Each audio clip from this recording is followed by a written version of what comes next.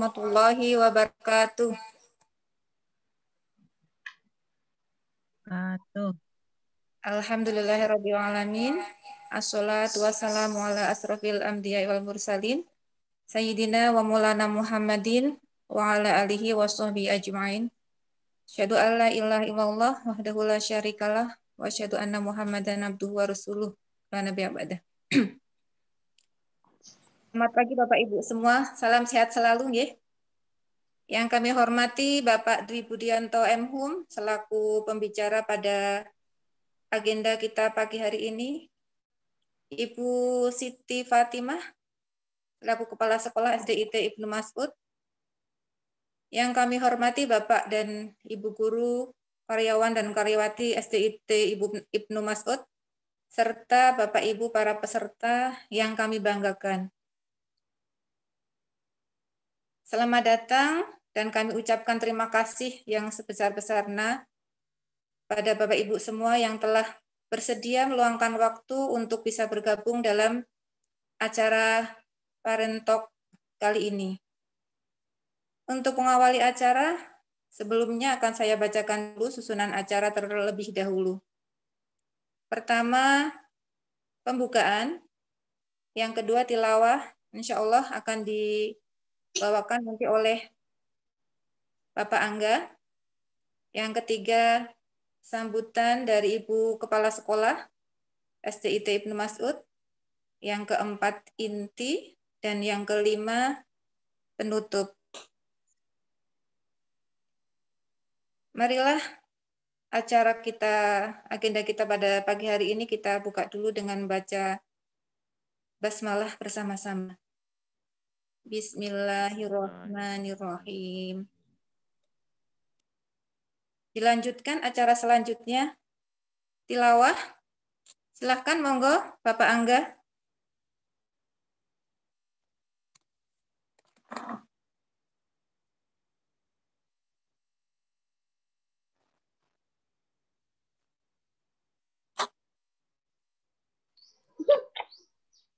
Ingat teman-teman sebenarnya.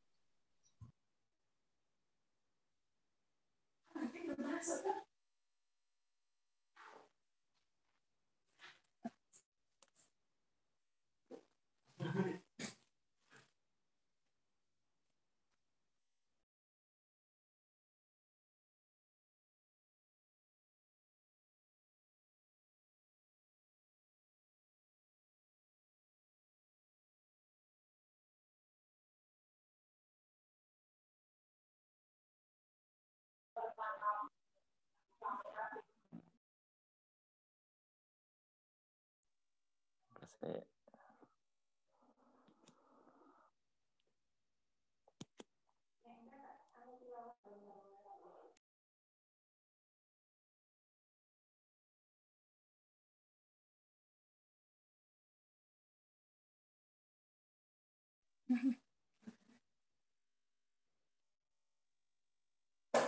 Mohon maaf, ini sepertinya Bapak Angga baru agak terkendala ya.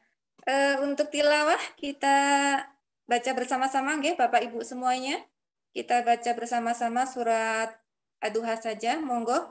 Kita baca bersama-sama dari Ta'awud. Satu, dua, tiga. A'udzu billahi. Bismillahirrahmanirrahim. Wadduha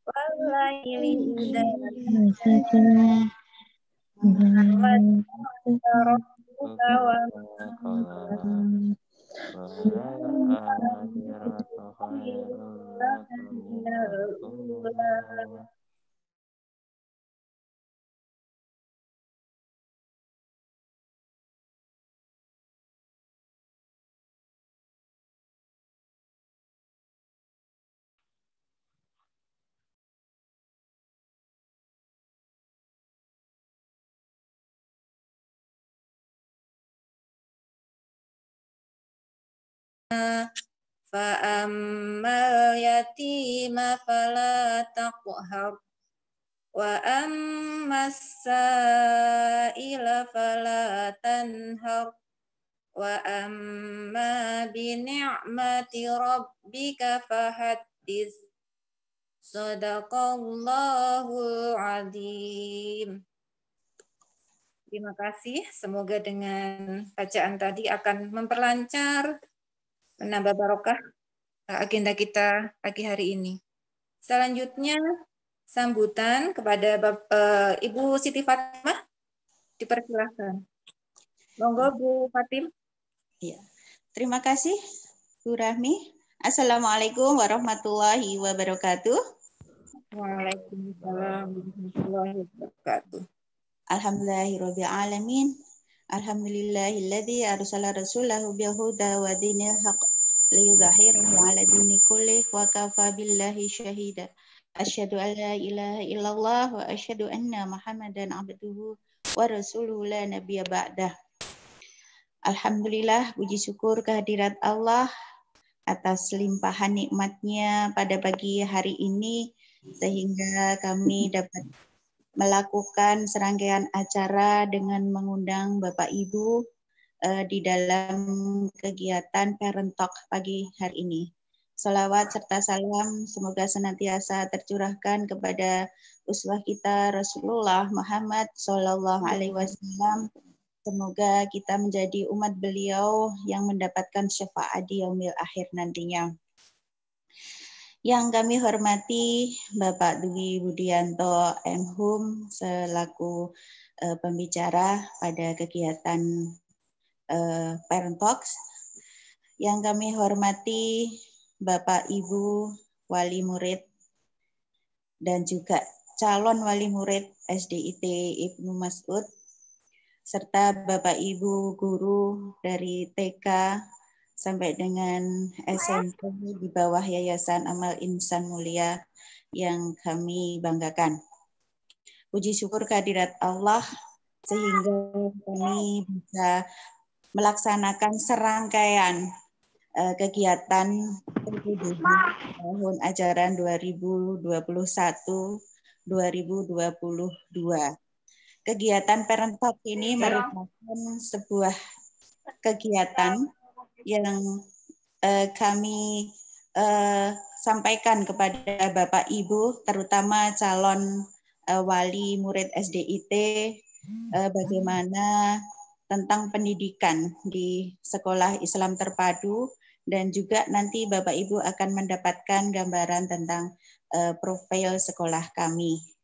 Nah, kami harapkan uh, dengan kegiatan-kegiatan yang kami laksanakan Bapak Ibu bisa lebih mengenal kepada sekolah kami sehingga nantinya bisa memperkuat niat Bapak Ibu untuk menyekolahkan putra-putrinya di sekolah kami.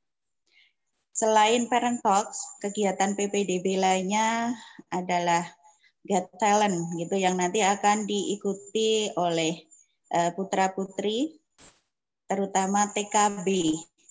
Monggo nanti bisa disebarluaskan kegiatan ini kepada jaringan ataupun rekan-rekan Bapak Ibu semuanya uh, untuk ikut uh, meramaikan acara kami. Nah, uh, selanjutnya pendidikan merupakan hal yang paling penting uh, untuk mengubah kehidupan gitu ya.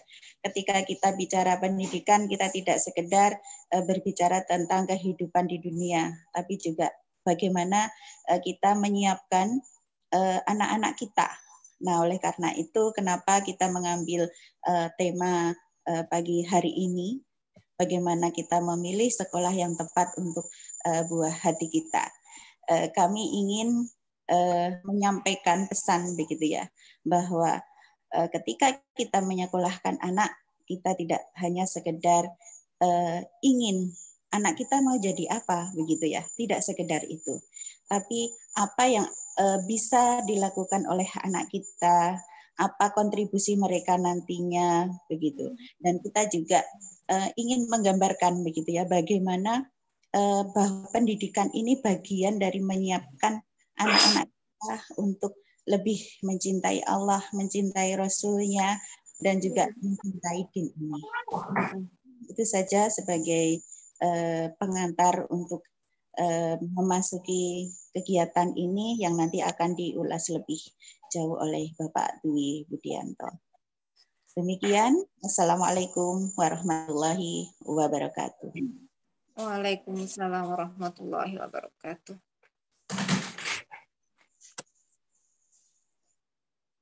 Terima kasih Bu Fatim, Bu Siti Fatimah atas sambutannya.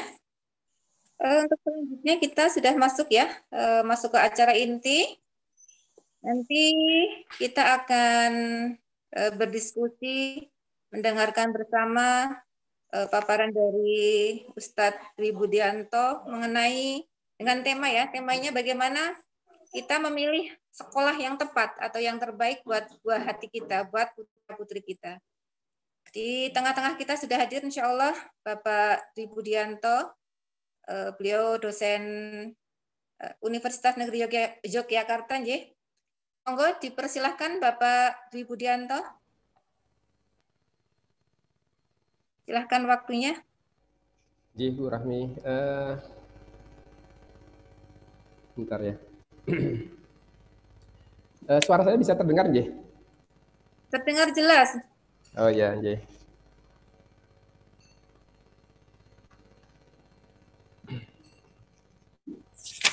Baik, uh, Ibu dan Bapak sekalian, Bismillahirrahmanirrahim. Alhamdulillahirrahmanirrahim. Hamdan kasiran kama amar, hamdan jambah kali jalali wajhika demi sultanik. Allahumma salli ala Muhammad wa ala ali Muhammad kama sallaita ala Ibrahim wa ala ali Ibrahim wa barik ala Muhammad wa ala ali Muhammad kama barakta ala Ibrahim wa ala ali Ibrahim fil alamin innaka Hamidum Majid. Allahumma ftah qulubana wa alhimna rusdana wa hdina ila siratikal mustaqim. Wa hikum jami'an bi tahiyatan Islam. Assalamualaikum warahmatullahi wabarakatuh. Waalaikumsalam. Ibu dan Bapak sekalian, alhamdulillah pagi hari ini kita bisa ber himpun bersama, bermajelis bersama. Mudah-mudahan Allah limpahkan keberkahan buat kita semuanya. Kita berharap uh, agar seluruh aktivitas kita hari-hari ini di tengah banyak kesibukan uh, senantiasa Allah berikan keberkahan buat kita semuanya. Dan satu hal yang perlu untuk kita catat, eh, sesibuk apa pun kita perlu untuk mensyukurinya, Ibu dan Bapak sekalian. Kenapa? Karena biasanya bagaimana yang dijelaskan oleh Rasulullah di dalam kesibukan itulah Allah akan mendekatkan kita dengan banyak kebaikan. Tapi kan sering kali kita anu ya mengeluhkan seluruh kesibukan-kesibukan kita gitu. Kita ini orang sambat di orang anu. Kalau tidak sambat itu rasanya nggak afdol. Padahal sebenarnya kalau kita coba uh, mengingat apa yang disampaikan oleh Rasulullah SAW, sesungguhnya kalau Allah itu menghendaki kebaikan pada diri seseorang, maka Allah akan buat dia itu sibuk. Idza aradallahu bi'abdin khair Kalau Allah menghendaki kebaikan pada diri seseorang, maka Allah akan bikin dia itu sibuk. Kaifa yastamilhu? Ya Rasulullah, bagaimana cara Allah itu membuat kita itu sibuk? Eh, kata Nabi menjelaskan pertanyaan dari para sahabat itu, eh, cara Allah membuat kita sibuk itu adalah yuwafiku amalin soleh. Allah akan berikan taufik pada dia untuk beramal soleh. Allah akan bimbing dia untuk beramal soleh. Allah akan dekatkan banyak peluang-peluang kebaikan bagi dia untuk beramal soleh. Uh, maut sebelum kematiannya, lalu Allah akan cabut dia ketika dia beramal soleh itu. Jadi rasa-rasanya kalau setiap hari, apalagi saat ini masa-masa daring itu kelihatannya bukan masa-masa yang malah nganggur ya, kita padatnya luar biasa gitu. Ibu-ibu yang di rumah harus mendampingi anak-anak, tiba-tiba harus berubah menjadi guru, wah itu kesibukannya luar biasa. Harus ngurusi rumah, harus menyiapkan banyak hal. Eh, saya kira itu adalah kesibukan. Tetapi kalau kita mengingat hadis Nabi tadi, kita akan menyadari, oh mungkin beginilah cara Allah Subhanahu Wa Taala agar kita itu uh, disibukkan di dalam kebaikan dan dengan kesibukan itu Allah akan dekatkan kita dengan banyak kebaikan. Saya yakin uh, ibu-ibu guru di Ibnu Mas'ud juga sibuknya luar biasa, jauh lebih sibuk gitu dibandingkan dengan masa-masa normal kelihatannya. Tetapi uh, itu satu hal yang patut untuk kita syukuri. Dengan kata lain, ibu dan bapak sekalian, Sesungguhnya kesibukan itu adalah anugerah dari Allah Subhanahu wa taala. Karena dia anugerah, maka dia layak untuk kita syukuri, bukan untuk kita sambati. Nah, eh, hari ini kita berbicara tentang bagaimana kita menentukan dan memilih sekolah bagi anak-anak kita. Dari mana kita akan memulai? Eh, Ibu dapat sekalian, kita melihat di dalam surat Al-Imran ayat 33. Eh, Ketika Allah Subhanahu wa taala menyampaikan satu informasi menarik. Nuhan wa ala Imrana uh, wa uh, wa ala Ibrahim wa ala Imrana alal alamin. Sesungguhnya Allah telah memilih. Siapa saja yang dipilih? Inallah hastofa Adam Adam. Dipilihnya Adam uh, alaihissalam.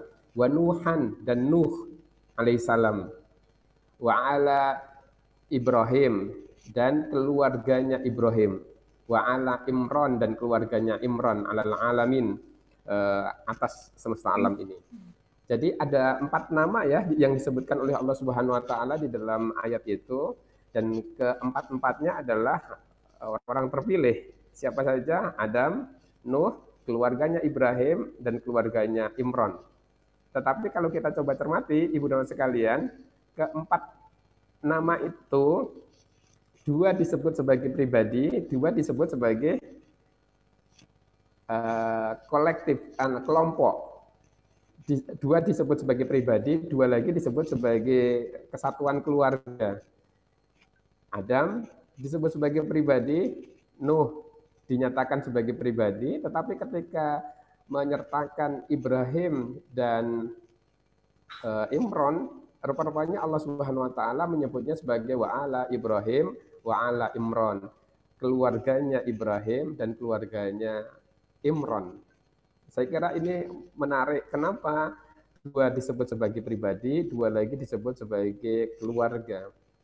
Barangkali karena uh, meskipun keempatnya adalah uh, terpilih oleh Allah Subhanahu wa taala, mereka adalah orang-orang terpilih uh, yang dipilih oleh Allah taala, tetapi rupa-rupanya posisinya uh, sedikit berbeda. Adam dan Nuh diuji oleh Allah Subhanahu wa taala dengan apa? Dengan keluarga. Jadi Adam dan Nuh diuji oleh Allah Subhanahu wa taala dengan keluarga. Tetapi itu tidak mengurangi sedikit pun dari kemuliaan mereka. Tidak mengurangi sedikit pun atas kemuliaan Nabi Adam dan Nabi Nuh alaihissalam Meskipun sekali lagi Adam diuji oleh putranya, uh, Nuh diuji oleh putranya juga, sekaligus istrinya. Jadi di, keduanya diuji karena keluarga. Bahkan ibu dan bapak sekalian, orang-orang soleh sekalipun mereka tetap saja diuji karena keluarganya. Tetapi rupa-rupanya ayat ini sekaligus juga memperlihatkan bahwa ada dua yang terpilih juga, tetapi keduanya menyertakan keluarga. Siapa itu? Keluarganya Ibrahim alaihissalam, yang kedua adalah keluarganya Imron. Eh, kenapa mereka eh, disebut sebagai keluarga, bukan sebagai pribadi, bukan Ibrahim, bukan Imron, tetapi keluarganya Ibrahim dan keluarganya Imron. Rupa-rupanya kalau yang pertama, dua yang pertama mereka diuji oleh Allah Subhanahu wa taala karena keluarganya, dua yang terakhir mereka dimuliakan oleh Allah Subhanahu wa taala karena keluarganya dijadikan sebagai teladan. Ini pelajaran buat kita semuanya bahwa rupa-rupanya eh, kondisi anak-anak dan keluarga kita sesungguhnya adalah anugerah dari Allah Subhanahu wa taala dia bisa menjadi ujian bagi kita, tetapi sekaligus juga bisa menjadi keteladanan buat kita. Nah, karena uh, ada dua nama yang disebutkan oleh Allah Subhanahu wa taala yaitu keluarga Ibrahim dan keluarga Imron dan keduanya disebut sebagai keluarga karena uh, dijadikan sebagai model dan keteladanan, kita akan melihat salah satu di antaranya ya. Uh, kita akan melihat salah satu di antaranya. Eh, kenapa ada nama Imron di situ? Eh, tiga orang itu sebenarnya adalah nabi, satu orang bukan nabi. Jadi ada Adam, ada Nuh, ada Ibrahim, ketiganya adalah nabi. Tetapi ada satu orang yang dia bukan nabi sama sekali, yaitu Imron. Jadi ada uh, satu yang bukan nabi sama sekali yaitu Imron. Kita ambil saja yang keluarganya Imron. Kita akan melihat uh, bagaimana keluarganya Imron itu menjadi teladan uh, buat kita semuanya. Kenapa kok keluarganya Imron gitu? Uh, kita kadang kala pikiran kita itu sok suka usil dan nakal gitu ya. Makanya Allah memberikan keteladanan yang bukan nabi gitu. Kadang-kadang pikiran kita itu sok usil gitu lah. Yo, uh, keluarganya apa? Oh nabi gitu. Anggal dicontoh. Nah terus Allah kasihkan buat kita nih pikiran yang pikiran-pikirannya suka usil-usil itu ada juga ini contoh yang dia bukan seorang nabi biar pikiran usilin kita itu langsung uh, ya uh, terpatahkan gitu terbantahkan. Nah Ibu dan Bapak sekalian, sekarang kita akan melihat keluarga Imron. Uh, coba panjenengan nanti lihat di surat uh, Al-Imran ayat 35. Jadi kalau yang tadi ayat 33, sekarang kita uh, beranjak ke ayat 35. Itu uh, awal kisah tentang keluarga Imron itu ya. Yang Rupa-rupanya, uh, ibu dan bapak sekalian, ketika kita ingin menentukan sebuah sekolah, sebenarnya kita mengawalinya dari mana? Nah, saya ingin mengajak kita awali dari apa yang dilakukan oleh keluarga Imron ini. Kenapa kita mengambil keluarga Imron dan bukan dari yang lainnya gitu? Soalnya Allah yang menunjukkan kepada kita agar kita itu meneladani keluarga Imron uh, dibandingkan dengan keluarga-keluarga yang lainnya. Nah, uh, ibu dan sekalian, Imran itu punya seorang istri. Namanya uh, Hannah bin uh, Fakud, binti Fakud. Uh, sebut saja Hannah. Nama istri Imran itu adalah Hannah. Dia belum hamil sama sekali. Uh, lalu suatu saat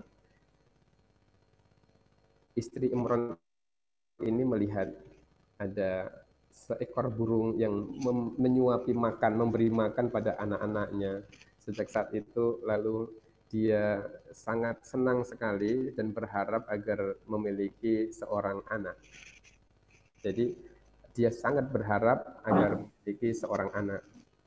Nah, ketika itulah lalu dia bernadar. Makanya di dalam surat Al-Imran ayat 35 itu Allah Subhanahu wa taala menjelaskan uh, itqalat Imrana dan ingatlah ketika istri Imron siapa? Hana itu berkata Robbi ini nadar tulaka ma fi batni muharraran.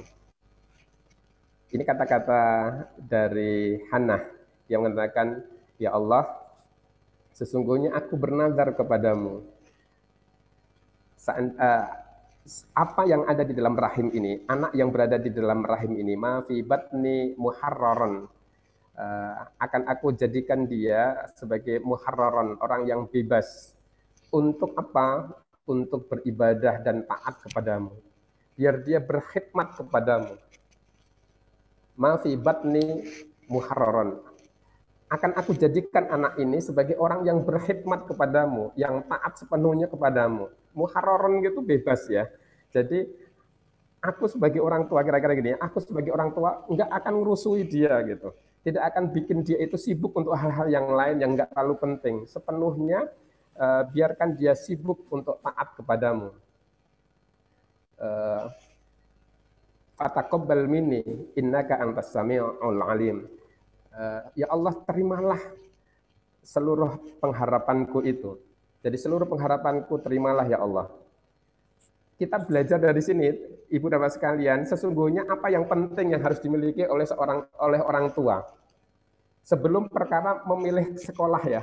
Jadi kadang-kala kita melupakan satu hal, kita itu lebih memilih hal-hal yang sifatnya itu uh, tangible aset di dalam sebuah sekolah. Jadi kita itu terjebak untuk memilih hal-hal yang wadat, yang bisa untuk diamati, Dan beberapa sekolah memang memanfaatkan kita, kecenderungan kita yang seperti itu lalu dimanfaatkan oleh sejumlah sekolah. Makanya mereka lalu memoles hal-hal yang sifatnya tampilan luar agar bisa ditangkap oleh para orang tua. Nah, sesungguhnya kita diajari bukan seperti itu. Kita diajari dari hal yang paling mendasar. Kalau kita ingin menentukan sekolah bagi anak-anak, cara pandang kita jangan ke arah sekolah terlebih dahulu gitu. Tetapi cara pandang kita harus kita kembalikan ke dalam diri kita sebagai sebuah tim keluarga. Ada ayah, ada ibu. Apa yang perlu untuk kita awali, ibu dan bapak sekalian? Kita lihat apa yang disampaikan oleh Hannah tadi ya. Kita lihat apa yang disampaikan oleh Hannah. Robi inni nazar tulaka. Sesungguhnya aku bernazar kepadamu. Maafi batni muharraron. Akan aku jadikan anak ini orang yang taat soleh kepadamu. Jadi sebenarnya untuk memilih sebuah sekolah itu harus kita awali dari orientasi kepengasuhan orang tua terlebih dahulu. Sebenarnya orang tua ini punya orientasi kepengasuhan seperti apa, yang diinginkan, yang diharapkan itu seperti apa. Kalau kita lihat sekali lagi, eh, Hana mengorientasikan anaknya itu untuk muharraron agar dia bebas dari apa pun selain penghambaan kepada Allah Subhanahu wa taala agar dia bebas dari jerat apa pun semata-mata agar dia lebih berkhidmat kepada Allah Subhanahu wa taala. Ini yang ada dalam pandangan orang tua. Jadi sekali lagi ini yang ada di dalam pandangan orang tua dibandingkan dengan uh, orientasi-orientasi apa pun bukan kok kemudian orientasinya oh nanti anakku akan biar uh, sukses biar dan sebagainya. Bukan itu yang diinginkan oleh uh, Hannah. Dan saya kira ini satu hal yang uh, menarik. Hannah tidak menghendaki anaknya uh, dan dirinya menyibukkan anaknya itu pada hal-hal lain kecuali ketaatan kepada Allah SWT. Itulah sebabnya dia juga tidak mengharapkan agar anaknya itu lepas dan jauh dari ketaatan kepada Allah taala prioritas utama bagi keluarga Imron untuk anaknya adalah prioritas ketaatan kepada Allah Subhanahu wa taala agar anaknya lebih taat kepada Allah Subhanahu wa taala. Bukan uh, sekedar lebih pintar tetapi agar dia lebih taat kepada Allah Subhanahu wa taala. Nah, jadi kira-kira ini yang pertama yang harus dimiliki oleh orang tua. Awal mula dalam memilih sekolah adalah melihat ke dalam diri kita, ke dalam keluarga kita, sesungguhnya apa orientasi kepengasuhan kita kepada anak-anak. Nah, kira-kira uh, ibu-ibu uh, berkeinginan dan bawa sekalian berkeinginan anak-anak akan seperti apa. Memasukkan ke TK juga begitu kan, kan sering kali gitu. Ada orang tua yang fokusnya itu pada capaian-capaian akademiknya. Begitu mau masukkan ke Eh, TK, lalu yang dilihat bagaimana program eh, sekolah ini untuk menciptakan eh, dan menjadikan anak-anak pinter untuk membaca, bisa untuk membaca gitu. Oh, itu capaian-capaian anu ya, capaian-capaian akademiknya. Kalau Ibnu Masud semestinya harus bisa dan berani kan adik-adik yang sekolah di TK untuk uh, bisa membaca. Kami sama sekali tidak mentargetkan anak-anak untuk bekas bisa membaca. Tetapi kami mentargetkan anak-anak agar dekat dengan Allah, agar senantiasa hidup dalam ketaatan pada Allah dan uh, mereka senang membaca. Jadi kami tidak mentarget, mentargetkan untuk anak-anak bisa membaca di TK, tetapi kami mentargetkan anak-anak suka membaca karena biasanya kan anu ya, kita itu uh, beberapa sekolah lebih mentargetkan anak-anak bisa membaca, tetapi mereka nggak senang membaca. Kalau anak-anak itu mereka senang membaca, meskipun mereka nggak belum bisa membaca, itu kan umat umi dewe gitu, moco gitu, umat umi gitu, bukunya kewalik, we, dia merasa dirinya sudah kan, ya bisa membaca gitu. Oh, oh, oh, oh, oh, oh, kata ibunya, ya Allah, ini anakku kok pinter banget gitu, wong hurufe kewalek kok bisa diwaca gitu. Karena anak-anak hafal gitu dengan apa yang pernah dibacakan oleh orang tuanya. kita senang bukan karena anak itu sudah membaca gitu, bisa membaca, tetapi karena anak-anak suka membaca. Lalu mungkin guru-guru Ibnu Masud juga perlu berani mengatakan kalau panjenengan menghendaki anak-anak bisa membaca di TK, mungkin sekolah kami tidak terlalu tepat. Silahkan eh, panjenengan bisa mendaftar di sekolah yang lainnya. Di sekolah sebelah kelihatannya eh, menargetkan anak-anak TK sudah bisa membaca. Mungkin ibu punya pilihan ke arah sana. Kenapa kami tidak seperti itu? Eh, mohon maaf karena kami menghendaki generasi kita itu suka terlebih dahulu dengan membaca karena bisa membaca kadangkala masing-masing anak memiliki waktu yang tidak sama dan seterusnya gitu ya. Nah, rupa-rupanya sekali lagi ini bagian dari orientasi kepengasuhan. Kalau kita kalau orientasi kepengasuhannya itu ingin menjadikan anak lebih taat kepada Allah Subhanahu wa taala, apa yang kemudian disiapkan oleh orang tua? Satu, pasti orang tua menyiapkan dirinya untuk lebih taat pada Allah. Jadi kalau dia menghendaki anaknya itu taat pada Allah, pasti dia menghendaki anak uh, dirinya jauh lebih taat uh, kepada Allah Subhanahu wa taala dibandingkan uh, dengan yang lainnya. Dan ini yang bisa kita tangkap kan uh, Imron dan Hannah adalah dua orang tua harapannya anaknya juga uh, memiliki tingkat kesalehan yang sama. Itu harapan yang diinginkan dari orang tua. Anak-anak semakin taat kepada Allah Subhanahu wa taala. Kenapa uh, orang tua itu menghendaki anaknya lebih taat kepada Allah Subhanahu wa taala dibandingkan dengan prestasi-prestasi yang lainnya? Uh, Ibu dan Bapak sekalian coba perhatikan ya. Betapa menyiapkan anak-anak untuk taat pada Allah, rupa-rupanya itu jauh lebih abadi dibandingkan dengan menyiapkan anak-anak pada hal-hal yang lain. Coba perhatikan gitu dalam kehidupan kita sehari-hari.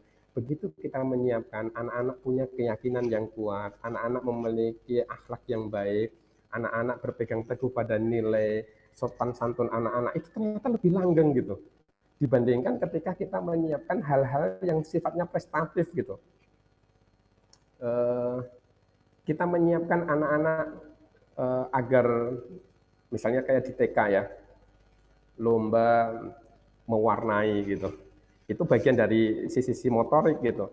Tetapi kadangkala kita itu lebih cenderung pada uh, kebanggaan anak-anak untuk mendapatkan prestasi-prestasi seperti itu. Padahal begitu nanti sudah dewasa gitu kadang-kala hal-hal seperti itu tidak terlalu kita butuhkan banget gitu.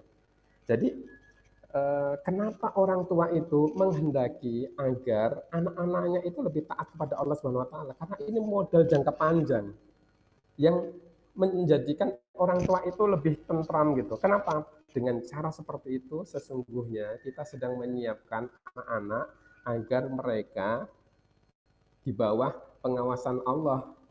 Kenapa kita harus mengarahkan pengawasannya kepada Allah Subhanahu wa taala dengan menjadikan anak-anak itu taat? Karena waktu kita itu pendek kan, Bu, Pak. Jadi kebersamaan dengan anak-anak itu itu sangat terbatas. Jadi kita ingin menyiapkan hal yang jauh lebih lebih lebih berjangka panjang dibandingkan dengan hal-hal yang memungkinkan anak-anak itu masih tumbuh berkembang terus gitu. Tapi penyiapan akhlak penyiapan uh, ketauhidan, akidah yang kuat, keimanan yang kuat itu harus sejak awal karena itu bagian dari fondasi. Dan rupa-rupanya ini yang disiapkan oleh Hannah dan Imron. Sekali lagi, rupa-rupanya ini yang disiapkan oleh Hannah dan Imron. Saya ingin melihat satu hal ya. Pernahkah panjenengan merasa urusan-urusan uh, kita berantakan gitu? Kerjaan-kerjaan kita itu berantakan luar biasa Eh, ibu-ibu di Ibnu Mas'ud ada banyak tugas, bikin RPP, menyiapkan media dan sebagainya. Eh, sesuatu yang biasa, tapi dalam satu momentum semuanya berantakan, kita bingung gitu, ini dice sing tak kerja kayak gitu. Judek, mumet gitu, terus migran gitu. Kenapa hal-hal itu sering kali terjadi dalam diri kita? Salah satu di antaranya kalau kita melihat di dalam Al-Quran, rupa-rupanya Eh, kadangkala hal-hal itu menjadi berantakan di dalam diri kita karena kita ghaflah. kita lalai pada Allah Subhanahu wa taala. Jadi begitu spiritualitas kita itu turun gitu ya. Salat kita abe, tahajud kita eh, bolong-bolong abe gitu, tilawah kita sama sekali kita tinggalkan dan sebagainya. Kita tidak memiliki ketenangan di dalam hidup. Begitu kita tidak memiliki ketenangan di dalam hidup, kita menjadi kemerungsung. Begitu kita kemerungsung, kerjaan-kerjaan itu seakan-akan numpuk gitu dan kita sulit untuk mengurainya. Saya hanya ingin memberikan satu contoh sederhana saja tentang perkara ini. Betapa ketaatan kepada Allah Subhanahu wa taala itu sangat berpengaruh kepada bagaimana kita menata seluruh kerja-kerja itu. Jadi bagaimana kita menata kerja-kerja itu. Dan dengan cara seperti ini, kita sebenarnya sedang menyiapkan anak-anak agar hidupnya itu tertata. Tidak sekedar dari mengajari mereka tentang manajemennya, tetapi sekaligus juga mengelola dari sisi bagaimana mengelola emosi dan caranya adalah menjadikan anak-anak lebih dekat dengan Allah taala, lebih taat pada Allah taala. Lihat di dalam surat Al-Kahfi ayat 28 ketika Allah menghubungkan antara ghaflah, kelalaian itu dengan wakana amruhu furuto. Ghaflah, lalai dari ketaatan pada Allah itu menjadikan wakana amruhu furuto. Urutannya itu menjadi berantakan, jadi rupa-rupanya begitu kita lalai dari ibadah, lalai dari banyak hal, urusan-urusan kita itu menjadi berantakan. Kenapa kok bisa berantakan? Salah satu di antaranya karena itu tadi ya, Allah tidak tanamkan ke dalam diri kita rasa tenang. Begitu tidak tenang menghadapi kerjaan-kerjaan, pekerjaan-pekerjaan kita, tugas-tugas kita, akhirnya kita kemerungsung. Begitu kita kemerungsung, kita menjadi panik. Begitu panik, kerjaan tidak optimal. Dan begitu seterusnya. Jadi uh, ini uh, satu hal yang amat sederhana.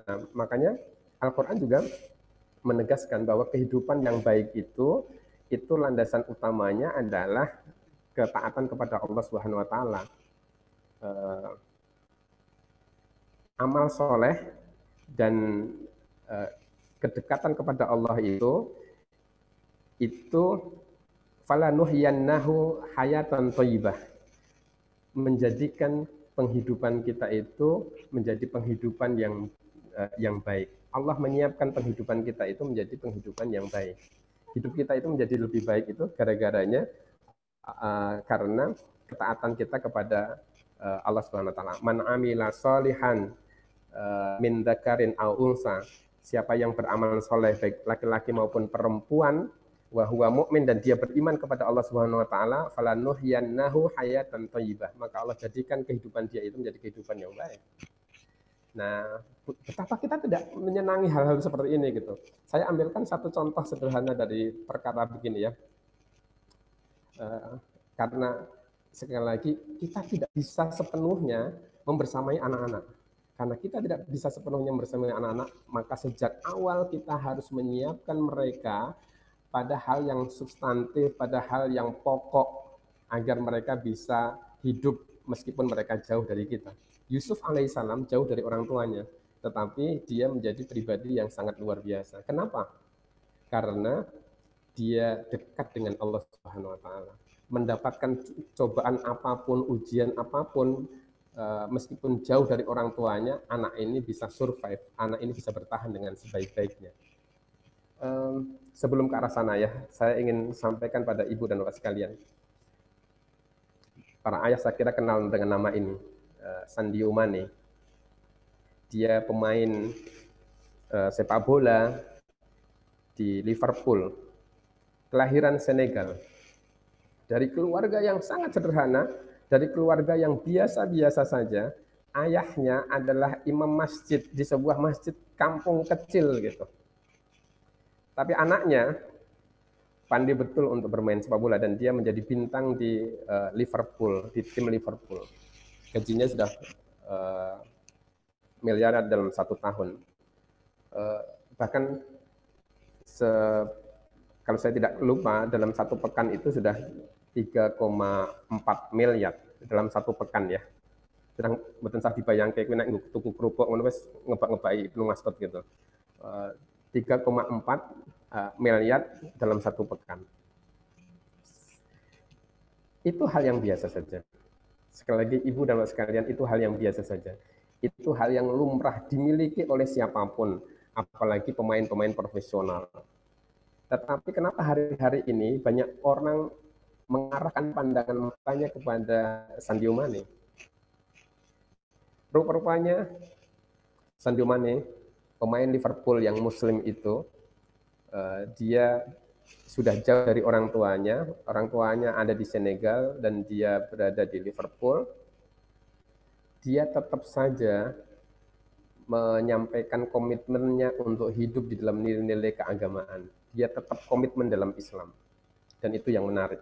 Kata dia, saya tidak pernah akan menyentuh uh, alkohol dan narkoba sama sekali.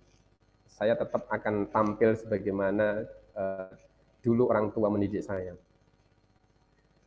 Dan menariknya Ibu dan sekalian, dengan gaji 3,4 miliar itu dalam satu pekan itu kira-kira dia bisa nggak beli HP gitu terbaik tentu perkara sederhana Wong kita yang gajinya aja nggak sampai segitu aja HP-nya sudah bagus-bagus gitu tetapi rupa-rupanya HP-nya Sandio Mane itu retak-retak HP-nya retak-retak gitu. Dan dia tidak pernah mengganti sama sekali HP itu. Sampai orang-orang pada heran. Eh, lalu menanyakan, kenapa HP-mu jadul banget sih? Ngosok bintang HP-nya welek nemen gitu. Bukan gitu. Kata dia, enggak, enggak perlu gitu. Enggak perlu. Saya enggak perlu ganti HP. Kenapa? Uang kan banyak banget gitu. Enggak perlu ganti HP. Para wartawan kata Sadio Mane dengan uh, enteng dia mengatakan enggak enggak perlu ganti HP. HP saya masih bisa untuk dipakai. HP ini masih bisa dipakai kok. Jadi enggak perlu saya ganti HP. Sekali lagi, HP ini masih bisa untuk dipakai. Kalau toh rusak, saya masih bisa untuk mereparasinya. Saya bawa ke uh, bengkel, nanti saya di, biar direparasi. Sederhana. Lo kan dengan uang yang banyak itu kamu bisa membeli apa pun gitu. Kata Sadio Mane, iya saya bisa membeli apa pun dengan apa yang saya peroleh hari-hari ini. Saya bisa membeli 10 BMW, keluaran terbaru sekaligus. Saya bisa membeli jet pribadi, saya bisa membeli apartemen yang bagus, yang orang berdecak kagum karena melihat itu, dan media-media juga akan senang untuk meliputnya. Saya bisa bepergian ke mana pun dengan fasilitas uh, traveling yang sangat uh, mewah, tapi untuk apa semuanya itu kata dia? Untuk apa? Itu enggak terpenting. Itu bukan prioritas hidupku kata dia. Kata Sandio Mane, itu bukan prioritas hidupku. Sama sekali itu bukan prioritas hidupku. Maka Sandio Mane lebih memilih hidup amat sederhana ibu dan bapak sekalian. Bayangkan ya, bintang anak muda di masa seperti sekarang ini uh, uh, di tengah uh, kehidupan Eropa yang kita mengetahui seperti apa, sebagai seorang bintang juga kita juga bisa mengenali kehidupan yang seperti apa, tetapi dia tetap saja tampil amat sederhana dalam kehidupan yang sederhana. Dia lebih memilih uang yang dia peroleh itu untuk diberikan kepada orang lain. 3,4 miliar dia sumbangkan untuk mendirikan sekolah di kampung halamannya Lalu dia juga menyumbang untuk pendirian masjid di kampung halamannya, tempat ayahnya menjadi imam itu. Dia mendirikan stadion, dia sumbangkan beasiswa bagi anak-anak uh, Senegal. Dia beri fasilitas anak-anak Senegal untuk bisa bermain sepak bola. Dan itu jumlahnya sangat besar. Sementara dirinya sendiri lebih memilih untuk hidup amat sederhana. Itu tidak mungkin bisa terwujud seperti itu kalau pendidikan masa kecilnya itu nggak kokoh itu tidak mungkin terbentuk seperti itu kalau ketahuan, keimanan, akhlak tidak ditanamkan sejak awal. Dan dia lagi-lagi amat sederhana. Seorang bintang tidak sungkan untuk membantu tim uh, tim teknis mengangkat air mineral. Meskipun pemain-pemain yang lainnya berlalu begitu saja, dia berhenti lalu dia membantu tim staff itu untuk mengangkat uh, berdus-dus air mineral, bintang. Dia tidak sungkan untuk melakukan seperti itu. Dia tidak sungkan untuk ngepel di salah satu masjid di Liverpool. Eh, bayangkan, kalau dia tidak melakukan itu, dia sholat saja gitu ya, dia sholat saja, itu sudah membuat orang kagum kok. Tetapi rupa-rupanya dia tidak sekedar itu, dia memiliki sikap yang sederhana sekaligus serasa humble, rendah hati yang luar biasa. Jadi itu adalah Sandio Mane. Contoh sederhana bagaimana eh, kita menghendaki anak-anak itu suatu saat meskipun mereka jauh dari orang tua, sekali lagi meskipun mereka jauh dari orang tua, kita berharap agar anak-anak itu kokoh di situ. Nah, makanya kalau kita mau nyekolahkan anak-anak ke sekolah-sekolah agama, kita itu nggak khawatir sama sekali gitu. Bahwa nanti suatu saat anak-anak kita itu akan terlantar gitu. Anak-anak kita akan kesulitan untuk mencari kerja gitu. Coba sekarang lihat lanskap dunia kerja kita yang begitu sangat berubah. Bagi Allah itu sangat mudah kok untuk menjadikan segalanya itu berubah. Dulu anak-anak yang suka gambar itu, itu kan panjenengan yang di usia-usia seperti sekarang kita ini ya, dulu kalau kita gambar itu mesti dilok ke wong tua gitu. Sinau gitu. Mosok kat mau gurung gambar wae gitu. Jadi dalam perspektif orang tua dulu itu yang namanya sinau itu ya sinau baca gitu atau ngerjakan tugas atau apa pun gitu. Gambar itu bukan bagian dari belajar. Cita-cita yang paling tinggi dulu yang keren-keren itu ya eh, kuliah di pertambangan macam-macam gitu. Sekarang coba kita perhatikan betapa lanskap dunia kerja kita berubah total. Berubah total. Yang tidak berubah adalah sikap dan nilai yang ditanamkan. Sementara dunia kerja kita berubah total. Eh, sekarang anak-anak yang pintar gambar, main desain grafis, itu mendapatkan tempat yang eh, luar biasa. Hobi-hobi seperti itu sekarang mendapatkan porsi dan tempat luar biasa. Jadi eh, maksud saya rupa-rupanya lanskap dunia kerja yang dulu dikejar-kejar oleh banyak orang tua sekarang berubah.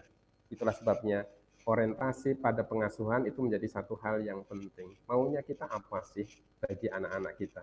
Maunya apa gitu. Nah, sekarang uh, kita lihat ya, itu persepsi anak-anak itu ah, Eh, dibandingkan dengan kehendak-kehendak Allah Subhanahu wa taala. Hana sebenarnya menghendaki agar yang lahir itu seorang putra ya. Jadi yang diharapkan itu seorang laki-laki, tetapi ternyata Allah menghendaki yang lahir adalah Maryam. Anak putra putri dari Imron dan Hana adalah Maryam. Maryam binti Imron. Uh, Ibu dan sekalian, Al-Quran lalu mengatakan, Robbi ini wadu'tuha unsa. Ya Allah, ternyata yang lahir perempuan. Inginnya Hana, yang lahir adalah laki-laki. Makanya dia mengatakan, Robbi ini wadu'tuha unsa. Ya Allah, yang lahir perempuan. Lalu apa kata Allah? Itu kira-kira kan, aduh aku pengen nih sebenarnya kalau laki-laki itu dia bisa berkhidmat bagi agama ini, dia berkhidmat uh, bagi kebaikan gitu. Itu kalau laki-laki, tapi kok yang lahir ternyata perempuan. Persepsi orang tua kadang-kadang begitu ya. Uh, ada ruang-ruang kekecewaan pada anak-anak kita, tetapi perhatikan ketika Al-Quran menyatakan Wallahu a'lamu bima wada'tu. Sesungguhnya Allah maha tahu dengan apa yang uh, dikandung dan dilahirkan oleh Maryam itu. Jadi Allah lebih tahu tentang anak-anak kita, Allah lebih lebih tahu. Walaisadakaru kal unsa. Dan ingat gini nih, laki-laki itu nggak sama dengan perempuan yang dilahirkan ini. Jadi kamu nggak usah berpikir tentang apakah laki-laki atau perempuan. Eh, laki-laki yang kamu bayangkan itu, kira-kira gitu. Laki-laki yang kamu bayangkan itu, itu nggak sama dengan perempuan yang di, kamu, kamu lahirkan itu kedudukannya, Allah akan kasihkan kemuliaan kepada uh, anak perempuan yang baru saja kamu lahirkan itu. Dan rupanya Allah Maha tahu tentang anak-anak kita. Itulah sebabnya Ibu dan sekalian, kita itu perlu untuk semakin memperkuat keyakinan kita atas apa yang dijaminkan oleh Allah Subhanahu wa taala jadi perkara rezeki, perkara apa pun kita amat yakin dengan apa yang dijaminkan oleh Allah Subhanahu wa taala. Untuk siapa? Untuk anak-anak kita.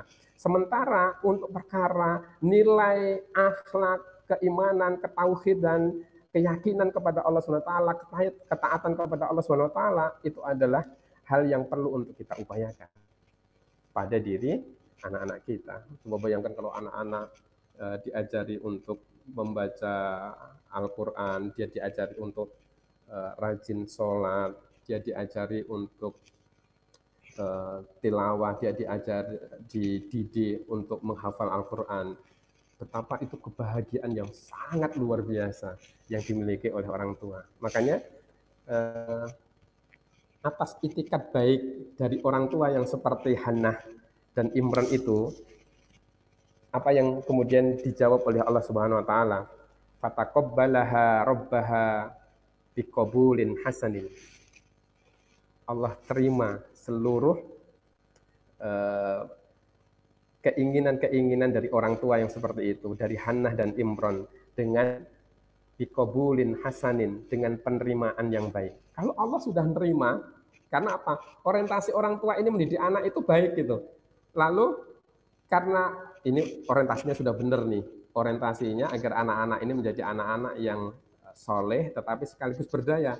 Anak-anak yang soleh tetapi sekaligus juga punya kemampuan-kemampuan yang memperkuat agamanya.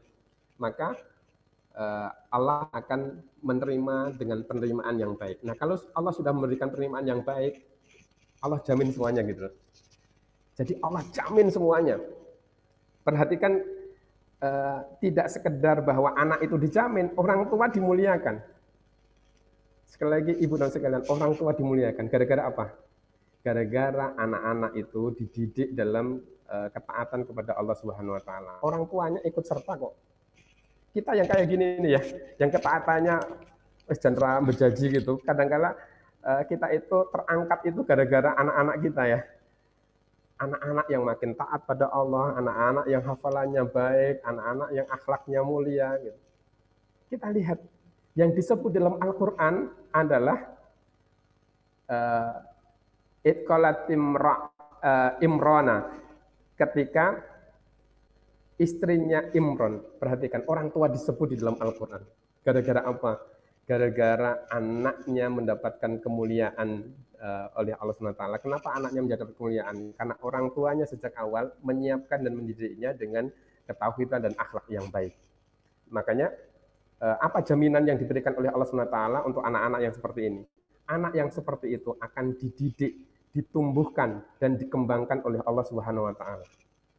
Makanya Al-Qur'an mengatakan uh, wa ambataha nabatan hasanan Lalu Maryam itu kami tumbuhkan dengan pertumbuhan yang baik.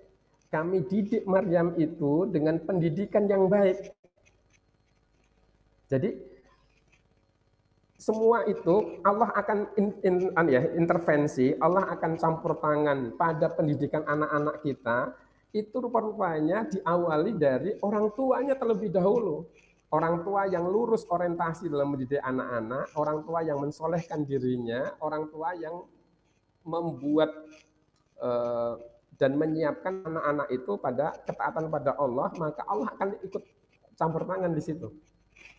Uh, wa ambataha nabatan hasanan. Allah akan tumbuhkan anak itu dengan pertumbuhan yang baik. Kadang-kala begini, jadi mohon maaf, saya melihat beberapa adik-adik yang sekarang mereka suntuk untuk uh, sibuk untuk menghafal Al-Quran gitu. Luar biasa. Saya menemukan di teman-teman mahasiswa, mereka kuliah di fakultas kedokteran, mereka kuliah di fakultas sastra, mereka kuliah di pendidikan, mereka di kuliah kuliah di teknik, mereka kuliah di semua bidang itu dan saya menemukan beberapa di antara mereka semakin banyak, bukan semakin berkurang, semakin banyak mereka sekaligus juga adalah hafid-hafid Quran. Dan uh, itu luar biasa Ibu dan Bapak sekalian. Rupa-rupanya Allah yang akan mendidik mereka. Begitu sejak awal kita siapkan, Allah yang bukakan jalan kok. Begitu nanti dewasa, Allah akan membukakan jalan dia. Mau kamu mau kuliah di mana? Mau berkontribusi bagi umat ini di mana? Kedokteran Allah bukakan jalan ke sana. Kamu mau kontribusi di seni, kamu dibukakan jalan ke sana. Kamu mau kontribusi di pendidikan, Allah bukakan jalan sana. Wa ambataha nabatan hasanan. Allah bukakan, Allah yang didik, Allah yang tumbuhkan gitu. Allah yang cukupi semuanya.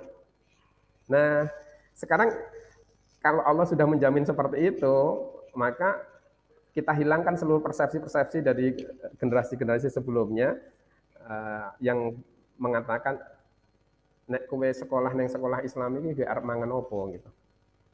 Kowe arep mangan opo gitu. Persis seperti dulu ketika ibu dan bapak sekalian uh, mau berjilbab di generasi kita itu ya. Itu kan sering kali kita dikacaukan dengan pikiran gitu. Lah nek kowe jilbaban kowe terus kowe kok kangelan arep bojo gitu. Jadi ada satu masa ketika sekali lagi ada satu masa ketika dulu amat sulit kita untuk beragama gitu sekarang rupa-rupanya Allah bikin kita itu lebih mudah untuk beragama. Dan anak-anak yang seperti itu sekali lagi sekarang uh, sedang tumbuh-tumbuhnya. Nah, apa yang sekarang kita perlu perhatikan? Begitu orientasi orang tua itu sudah lurus, sudah benar, baru yang kedua. Uh, ayat-ayat ini berkisah tentang wakafalaha Zakaria. Apa yang harus kita uh, disiapkan oleh orang tua. Wa kaffalaha Zakaria. Lalu Allah jadikan Zakaria itu sebagai pemeliharanya. Jadi yang didik Maryam sinten? Yang mendidik Maryam adalah Zakaria. Kalau Al-Quran sampai menyebut wa kaffalaha Zakaria berarti apa yang harus diperhatikan oleh orang tua? Yang harus diperhatikan oleh orang tua berarti guru bagi anak-anak. Jadi guru bagi anak-anak, kalau kita mau melihat sebuah sekolah itu, lihatlah gurunya, bukan melihat fasilitasnya, tapi lihatlah gurunya. Jadi yang diperhatikan pertama kali adalah gurunya. Gurunya itu seperti apa? Makanya Al-Quran mengatakan wakafalah Zakaria. Lalu Maryam itu berada dalam pengasuhan Zakaria. Siapa siapa Zakaria? Dia seorang nabi. Nabi Zakaria. Itu artinya kita menyerahkan pendidikan anak-anak kita tidak sekedar pada guru-guru yang cerdas, tetapi kita harus menyiapkan anak-anak kita eh, pada pengasuhan guru-guru yang cerdas sekaligus soleh. Jadi guru-guru yang cerdas sekaligus soleh itu yang kita butuhkan. Makanya eh, kalau kita mau melihat sebuah sekolah itu, kita bukan tadi ya Ibu dan sekalian, bukan melihat pada sisi tangible asetnya, aset-aset yang bisa diamati, yang bisa dilihat, tetapi kita melihat pada intangible aset. Salah satu yang intangible aset itu adalah gurunya. Nah, guru itu sesuatu hal yang sangat penting yang harus kita perhatikan. Lagi-lagi Eh, Al-Quran mengatakan dalam proses pertumbuhan dan pendidikan Maryam itu wakafalaha Zakaria. Zakaria disebut di situ sebagai pemeliharanya, eh, sebagai gurunya. Eh, saya teringat satu penelitian ibu dan bapak sekalian yang dilakukan oleh Robert J. Marzano. Dia melakukan satu riset sederhana tentang guru yang efektif dan sekolah yang efektif jadi guru yang efektif dan sekolah yang efektif. Uh, guru yang efektif itu adalah eh, guru yang uh, memiliki kualifikasi yang baik untuk mengajar. Sementara sekolah yang efektif itu adalah sekolah yang uh, memiliki kultur yang baik di dalam sekolah itu, memiliki budaya yang kokoh dan baik di sekolah itu. Uh, mungkin sekaligus juga beberapa fasilitas-fasilitas yang dimilikinya ya. Nah, dia melakukan satu penelitian sederhana terkait dengan nilai matematika anak-anak di sekolah-sekolah dengan kualitas yang berbeda-beda ya, itu ya. Jadi ada sekolah yang gurunya efektif, uh, apa namanya eh, standar biasa-biasa aja. Sekolahnya efektif, standar, uh, gurunya efektivitasnya juga standar. Dia berada di uh, presentasi sekian. Lalu nanti ada sekolah dengan guru yang efektif, sekolahnya tidak efektif. Uh, ternyata naik. Nanti ada guru yang uh, tidak efektif, sekolahnya efektif. Gurunya itu orang orang karu-karuan gitu, kacau orang karuan, tapi fasilitas sekolah itu banyak banget. Uh, sekolah itu baik banget gitu kelihatannya tapi gurunya nggak karu-karuan. Dari sekian itu rupa-rupanya yang naik itu ya, nilai anak-anak itu naik adalah gurunya efektif, sekolahnya tidak efektif, itu naik. Lalu yang kedua adalah gurunya efektif, sekolahnya efektif, itu naik. Jadi penelitian Robert J. Marjano menjelaskan rupa-rupanya yang menjadikan anak-anak itu menjadi kondusif untuk belajar adalah karena guru-gurunya itu adalah guru-guru yang efektif. Guru artinya kualitas guru dalam sekolah itu itu harus menjadi prioritas dan uh, pengamatan kita kalau kita mau memilih sebuah sekolah. Nah, menurut saya itu penting ya, harus kita amati. Nah, apa saja yang perlu untuk kita amati dari dari guru-guru itu. Guru-guru yang kompeten itu yang seperti apa? Satu adalah guru-guru yang punya integritas. Jadi guru-guru yang punya integritas. Apa saja yang perlu untuk kita lihat? Sederhana. Satu adalah motif. Apa yang menggerakkan guru-guru itu, motif guru-guru itu untuk mendidik anak-anak. Itu wilayah keikhlasan dan ketulusan ya kelihatannya agak sulit kita untuk melihat itu. Tapi coba panjenengan ngobrol saja dengan mereka, nanti akan kelihatan kok, akan terasa orang yang tulus dan ikhlas itu yang seperti apa gitu. Lihat saja gitu. Jadi guru-guru itu adalah guru-guru yang punya integritas. Mereka adalah pribadi-pribadi yang soleh, tetapi sekaligus mensolehkan. Dia punya integritas, ketulusan yang sangat luar biasa. Dan dalam hal ini, pengalaman saya menyekolahkan anak-anak itu uh, saya acungi jempol pada eh, teman-teman uh, guru-guru ya uh, eh, IT. Saya punya uh, pengalaman misalnya bagaimana salah seorang uh, guru TK anak saya yang perhatiannya sangat luar biasa bahkan kita kadang-kala sebagai orang tua itu cenderung AB tetapi beliau tidak sungkan, tidak segan-segan untuk mengingatkan kami agar memperhatikan anak-anak itu. Kalau malam hari itu, Ibu dan Bapak sekalian, Bu Sri itu senantiasa WA kami semuanya gitu, Ibu dan Bapak sekalian, kita tidak bisa menjamin uh, mendidik anak-anak. Yang bisa kita lakukan adalah memohon pada Allah SWT agar Allah mudahkan kita untuk mendidik anak-anak Uh, monggo sesarengan mari bersama-sama malam hari ini kita tahajud terus kita doakan anak-anak. Loh, iki ngandani itu guru gitu. Yang kami tidak pernah mensuplai beliau untuk uh, membeli pulsa itu sama sekali kita nggak memikirkan itu. Dan itu kan di luar SOP sebenarnya kan. Tugas guru itu kira-kira cuma ngajar di sekolah gitu. Tetapi guru-guru IT itu luar biasa. Malam hari dia bangunkan kita itu yang sedang sedang nyenyak tertidur itu sekedar untuk mengingatkan. Monggo kita eh, bangun bersama-sama untuk mendoakan anak-anak.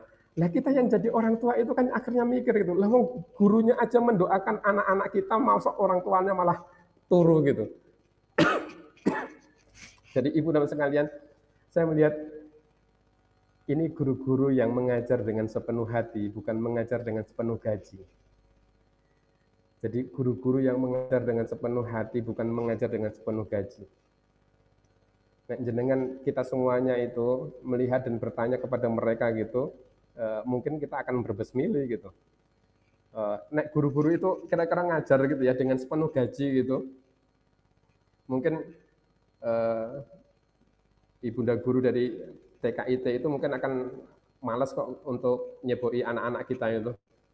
Oh, cebok dewe gitu, gaji kurang sepiro, masuk kon uh, kon ngresi kowe gitu. Tetapi itu tidak pernah dilakukan oleh eh, guru-guru uh, yang secara tulus ikhlas mendampingi eh, anak-anak. Uh, Jadi satu kita perhatikan motif mereka. Saya ngajar di kampus, kadang-kadang ketemu dengan beberapa teman-teman yang nggak bisa bergerak kalau nggak ada amplop. Nyon saya Kadang-kala kita ketemu dengan orang-orang gitu yang setiap kali berada di forum itu yang diomong ke amplop, yang diomong ke itu ah, ya Allah gitu. Itu merendahkan kita gitu. Motif kita itu apa sebenarnya? Yang mendorong seseorang itu apa gitu. Nah, guru-guru itu coba perhatikan sajalah. Uh, nanti lihat guru-guru itu uh, yang dikeluhkan oleh mereka apa, yang disambati oleh mereka apa gitu. Begitu mereka sampai abai terhadap diri mereka sendiri dalam tanda kutip ya. Mereka memikirkan anak-anak itu dengan sedemikian sangat seriusnya itu sepenuhnya karena mereka tidak sekedar uh, menunaikan tugas sekolah untuk ngajar, tetapi mereka menyadari bahwa mereka sedang menyiapkan pribadi-pribadi yang nanti akan membentuk peradaban. Jadi itu yang menjadikan guru-guru yang tulus ikhlas itu menunaikan tugas-tugasnya dengan sepenuh hati, bukan dengan sepenuh gaji.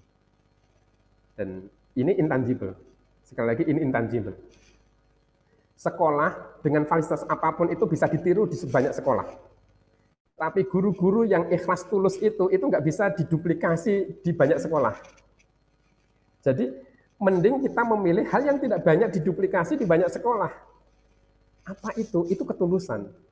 Itu orientasi uh, hidup dan perjuangan bagi eh, guru-guru uh, itu. Nah, yang guru-guru yang seperti ini nih kalau ngan, ngan ya uh, ngandani anak-anak itu itu pasti MJJ bu mak jebjur kenapa lawang semata-mata dia itu ya, keyakinannya pada Allah itu begitu sangat luar biasa kok uh, sekali lagi saudara sekalian guru-guru uh, yang seperti ini yang dekat dengan Allah itu pasti dia akan dikasih kekuatan oleh Allah untuk berpengaruh kepada anak-anak pada murid-muridnya yang kedua adalah akhlak yang baik jadi tidak sekedar motif uh, yang tulus, tetapi sekaligus guru-guru ini integritasnya terjaga dengan baik. Dia pribadi yang soleh, akhlaknya baik, gitu. tutur katanya santun, dan seterusnya. Uh, secara umum itu memang dia eh, pribadi-pribadi yang baik dan layak menjadi teladan bagi anak-anak kita. Maka pada pribadi yang seperti ini kita akan lebih cenderung untuk merasa jenjem, uh, tenang untuk memasrahkan anak-anak kita agar ditempa dan dididik dengan sebaik-baiknya. Itu integritas, sih. Nanti panjenengan bisa melihat beberapa hal yang lain.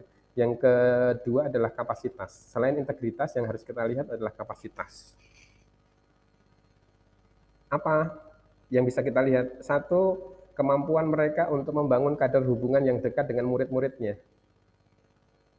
Ini bisa untuk kita amati.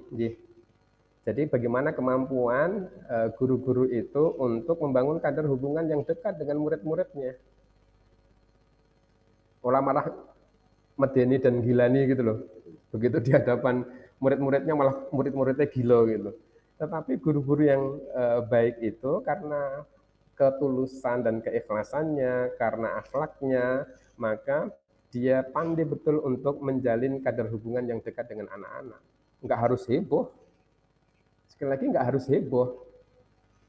Bisa jadi dia pribadi yang menang-menang baik gitu. Tetapi kayak magnet, begitu dia datang itu murid-muridnya terus uh, ngerubungi kayak uh, gula gitu, semut di, ngerubungi gula gitu.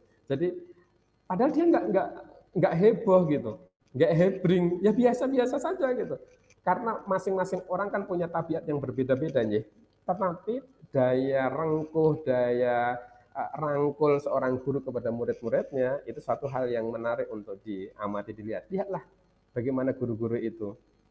Uh, satu hayin. Kalau aneh ya, uh, ini sekedar menurunkan dari apa yang disampaikan oleh Rasulullah SAW, ada empat orang sikap yang menjadikan seseorang itu uh, dijauhkan dari neraka. Neraka haram untuk uh, menyiksanya. Apa itu? Satu hayin. Pribadi yang hayin, uh, pribadi yang hayin itu pribadi yang semeleh, tidak koyo sumbu pendek, bukan begitu, tidak gampang meledak, tapi pribadi yang uh, semeleh gitu, hayin. Yang kedua adalah pribadi yang lain. Pribadi yang lain itu adalah pribadi yang lembut, tutur katanya halus gitu, uh, santun. Tapi nyun saya tidak uh, tidak mesti bahwa satu sekolah itu semuanya harus begitu ya.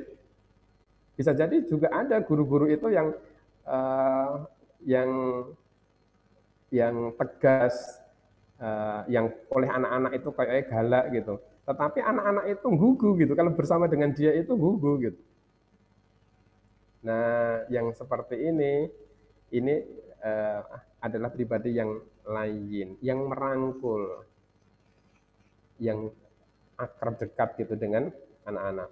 Hayin, lain. Yang ketiga adalah koribin. Korib. Itu guru-guru yang dekat. Gampang mendekati, gampang akrab. Kenapa ya bahasa Neklon Progogi kira-kira eh, guru-guru yang ya akrab, grapia gitu, itu orang-orang yang grapia itu adalah orang-orang yang dijauhkan dari siksa neraka gitu. Kata Rasulullah Shallallahu Alaihi Wasallam. Jadi beruntunglah kalau panjenengan menjadi pribadi-pribadi yang koribin. Saya kadang-kala sok heran gitu ya melihat guru-guru TKIT itu. Kalau ada datang itu terus eh, Mas Faik dijemput gitu. Padahal yang datang adalah orang tuanya. Kok yuk apal-apal iman gitu. Terus siapa lagi gitu. Eh, Mbak Nisa dijemput, Mbak Nisa dijemput gitu. Itu kan menunjukkan kalau orang tua apa guru-guru itu itu amat dekat gitu dengan anak sekaligus hafal betul dengan orang tuanya. Aku kan ngapal kayak ngono judek gitu. Jadi uh, tapi rupa-rupanya guru-guru itu luar biasa gitu. Wong baru nongol di gerbang itu aja sudah dipanggil pakai anu ya, uh, pakai mic itu. Uh, Mas Nizar dijemput, Mas siapa dijemput terus gitu. Dan itu satu sekolahan ya, kok ya apal-apal limen gitu. Nah, itu koribin, pribadi yang dekat. Pribadi yang dekat. Nah, yang terakhir, eh, sahlin. Hayin, layin, ribin, sahlin. Sahlin itu wong sing gampang. Bukan orang yang rumit. Bukan guru-guru yang rumit. Kadang-kadang kan repot juga tuh kita berhadapan dengan dulu kita repot berhadapan dengan guru-guru yang rumit, guru-guru yang Eh, coklean, persoalan sedikit jadi perbesar gitu. Tapi guru-guru yang baik ini, dia yang mudah merangkul itu karena dia memiliki pribadi yang semeleh, dia tutur katanya santun, lain, dia koribin, mudah mendekati anak-anak, mengakrabi anak-anak, lalu sahlin, mereka uh, memudahkan uh, urusan dengan anak-anak gitu, dengan orang tua juga begitu, gampang banget gitu. Nah ini yang uh, salah satu contoh saja bagaimana orang Arab uh, guru-guru yang seperti ini yang pintar pandai uh, anak-anak itu. Saya masih ingat salah seorang uh, murid dulu ya, namanya Farhan. Wah kalau sekolah itu uh, sulit untuk dikendalikan. Di TKIT itu dia sulit sekali dikendalikan. Uh, sudah lari ke mana-mana, kadang-kala bawa batu dilempar, bawa batu dilempar gitu uh, yang kalau berada di kelas dia tidak jenak, lalu lari ke halaman gitu. Dalam situasi seperti itu, ada saja ibu guru itu yang uh, tetap bersetia untuk mendampingi Farhan ini. Lari ke mana, diikuti, diajak ngobrol gitu, bermain apa pun gitu. Yang tentu itu capeknya bukan main. Kita bisa bayangkan, anak-anak yang lainnya sudah berada di kelas, anak yang satu ini ini masih berkeliaran lari ke mana-kemana gitu. Dan ibu uh, guru ini, ustadzah ini berusaha untuk mendampingi terus-menerus sampai akhirnya uh, anak ini berubah sedikit demi sedikit, sedikit demi sedikit gitu. Uh, itu luar biasa, ibu dan sekalian, kemampuan yang luar biasa. Uh, dia ini ini hal yang tidak sekali lagi ini pasti hal yang tidak pernah diajarkan di kampus gitu. Bagaimana bersentuhan hati dengan murid, bagaimana uh, merangkul anak-anak itu tidak mungkin akan diajarkan di eh, sekolah-sekolah. Itu tidak diajarkan di kampus-kampus gitu. Tapi itu penting. Kadang-kala yang diajarkan di kampus-kampus itu hal-hal yang sifatnya mekanik teknis piye carane ngajar, piye gawe RPP, administrasinya seperti apa. Kadang-kadang begitu gitu. Tetapi hal-hal yang berkaitan dengan menyentuh hati anak-anak sering kali tidak diberikan. Nah, guru-guru yang seperti ini yang karakternya itu tidak bisa dicontoh oleh siapa pun itu ya, tidak bisa dijiplak ya di sekolah-sekolah yang lainnya, itu intangible aset, itu aset termahal sekolah itu. Sekali lagi itu aset termahal sekolah itu. Kalau toh sekolah itu nggak punya fasilitas, pasti guru-guru di bawah uh, bimbingan guru-guru yang seperti ini itu nggak penting kok. Fasilitas itu jadi terasa nggak penting. Anak-anak merasa enjoy, bukan karena di situ banyak fasilitas. Lihat saja betapa banyak anak-anak yang tidak enjoy, bosan di sekolah, padahal fasilitasnya banyak. Kenapa? Karena kultur dan iklim di sekolah itu tidak terlalu cukup kondusif. Guru-gurunya nggak gayung, nggak menyenangkan gitu. Tapi ada sekolah yang fasilitasnya biasa-biasa saja, tapi ternyata uh, luar biasa. Saya menyekolahkan anak saya di TKIT itu nyaris nggak ada tempat bermain. Ada satu peta tempat uh, pasir itu, uh, tetapi itu nggak standar. Kalau suatu saat ada supervisi dari dinas itu, itu nggak standar gitu. Uh, Ustazah-ustazah pada bilang pada saya gitu, Pak Budi nanti didampingi ya. Kalau ada supervis, uh, supervisor datang ke sekolah kita gitu untuk penilaian. Lalu pertanyaan pertama itu ya khas gitu ya. Uh, ini tempat bermainnya mana, tamannya mana, ini sekolah kok nggak ada tamannya gitu. Saya bilang ada Pak taman, Lu mana nggak ada, ini di sekolah nggak ada, cuma satu petak di pojok itu. Ada Pak taman di depan itu loh. E, di depan itu ada taman gitu, itu taman makam pahlawan gitu, itu kuburan gitu. Biasanya kan sekolah-sekolah TK itu kan TK itu itu kan golek tanah ya tanah cerak kuburan gitu, yang murah-murah gitu. Uh, saya bilang, oh ini hebat Pak sebenarnya sekolah ini karena sejak sudah diingatkan dengan kematian, maka dia akan berani dengan menghadapi kehidupan. Saya bilang gitu ya. Uh, itu aja ya alasan mereka sekolah sekolah orang di fasilitas gitu. Tetapi ternyata anak-anak enjoy-enjoy saja gitu. Kenangan anak-anak terhadap sekolah tetap luar biasa. Sekali lagi, kenangan anak-anak terhadap sekolah itu tetap luar biasa. Jadi ibu dan sekalian itu uh, salah satu bagian dari kapasitas bisa diamati. Ya. Selebihnya adalah uh, kemampuan guru itu bagaimana mentransfer ilmu dengan sebaik-baiknya. Saya masih terkenang sampai saat ini apa yang dilakukan oleh almarhum ustazah uh, guru murid anu, anak saya ya. Suatu ketika ketika di TK itu anak saya belum terlalu cukup enjoy berada di kelas. Uh, apa yang dilakukan di pangkunya uh, anak saya lalu dibacakan uh, cerita ini langit sambil ditunjuk-tunjuk gitu ya. Ini di dengan buku itu, ini langit. Langit ciptaan siapa Mas Faik? Lalu anak saya mengatakan Allah. Terus ini gunung, gunung ciptaan siapa? Allah. Ini uh, pohon, pohon ciptaan siapa? Ciptaan Allah kata dia. Lalu anak saya dengan uh, anda mengatakan, terus Allah di mana? Oh itu kalau kita sebagai orang tua gitu kadang-kala kita mikir gitu, aduh bikin jawabnya gitu judek gitu. Kalau pertanyaan seperti ini di mana ini?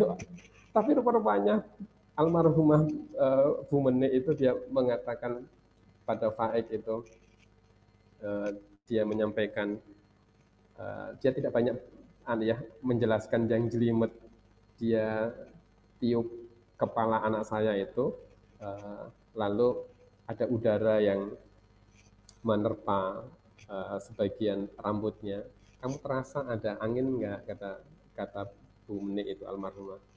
Uh, anak saya katakan iya. Uh, terlihat enggak anginnya? Enggak. Nah Allah juga begitu. Allah itu ada, tapi kita tidak bisa melihatnya. Pintar sekali bagi saya bagaimana uh, beliau menjelaskan akidah dan uh, keyakinan kepada Allah dengan amat enteng, ibu dan bapak sekalian amat sederhana sekali. Tetapi anak-anak yakin gitu. Anak-anak paham uh, dan mengerti apa yang dimaksudkan. Jadi yang seperti ini mahal harganya. Sekali lagi yang seperti ini mahal harganya. Ini jauh lebih mahal ini daripada jungkat-jungkit itu. Ini jauh lebih mahal itu daripada mainan-mainan kecil itu, daripada Lego, daripada macam-macam gitu. Anak-anak akan senang bersama dengan guru-gurunya karena permainan itu bisa diciptakan. Jadi permainan bisa diciptakan. Fasilitas itu perkara yang sederhana saja. Tapi bagaimana guru-guru itu mengajak anak-anak belajar, mendekatkan pada Allah, menerangkan tentang kekuasaan Allah, itu mahal harganya.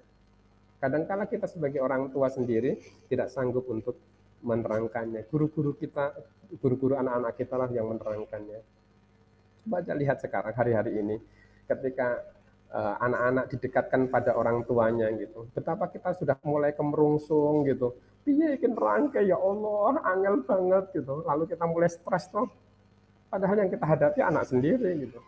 Jadi pada sekolah-sekolah seperti itulah, pada guru-guru seperti itulah yang memiliki integritas sekaligus kapasitas, kita akan uh, memberikan amanah uh, pendidikan anak-anak. Kita akan berkolaborasi bersama dengan guru-guru dan sekolah yang seperti itu. Yang ketiga, Ibu dan sekalian, terakhir, saya tidak perlu untuk menguraikan lebih lanjut, rupa-rupanya Maryam itu ditempatkan di mihrab. Uh, dia ditempatkan di mihrab. Tentu tempat itu juga bukan tempat yang banyak fasilitas, tetapi tempat itu adalah tempat yang sangat kondusif untuk menumbuhkan ketaatan kepada Allah Subhanahu wa taala. Sekolah yang baik bukan sekolah dengan menjual fasilitas. Sekolah yang baik adalah sekolah yang menjual iklim dan kondisi sekolah yang semakin mendekatkan anak-anak kepada Allah Subhanahu wa taala. Karena segala hal yang di alam ini semuanya adalah uh, fasilitas untuk pembelajaran. Jadi bagi guru-guru itu semuanya bisa diubah kok untuk pembelajaran. Ranting bisa diubah untuk pembelajaran, batu kerikil bisa diubah untuk pembelajaran gitu. Jadi segalanya bagi guru-guru yang dekat dan taat kepada Allah SWT itu tidak ada persoalan. Nah Maryam itu tumbuh dan besar di mihrab. Uh, itu artinya sekolah yang baik itu adalah sekolah yang kondusif Eh, dan semakin mendekatkan anak-anak untuk mencapai apa yang menjadi orientasi pengasuhan orang tuanya. Kalau orientasi pengasuhan orang tuanya itu itu adalah semakin anak-anak semakin taat pada Allah, eh, kira-kira masjidnya ada nggak nih sekolah ini? Sekolahnya ada masjidnya nggak? Kalau setiap waktu sholat kira-kira eh, anak-anak digiring untuk ikut sholat bareng, dibiasakan untuk sholat bareng ataukah tidak berjamaah atau tidak dan seterusnya itu sekolah yang kondusif bagi uh, menumbuhkan ketaatan kepada Allah Subhanahu wa taala.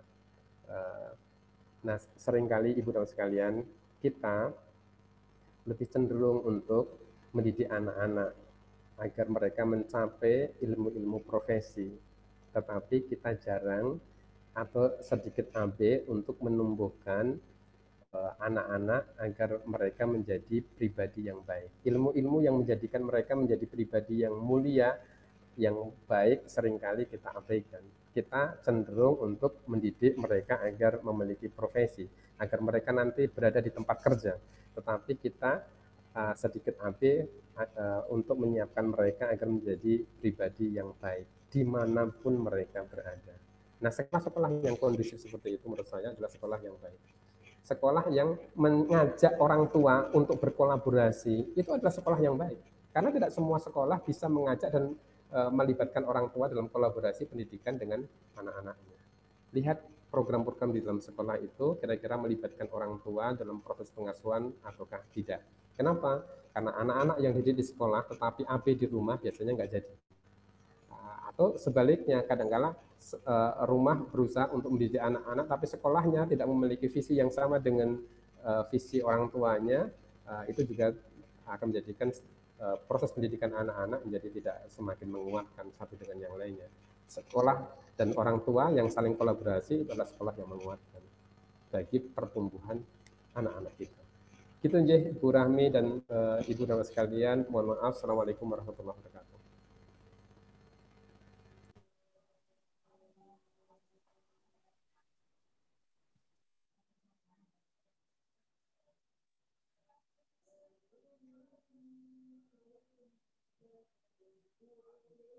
Oh.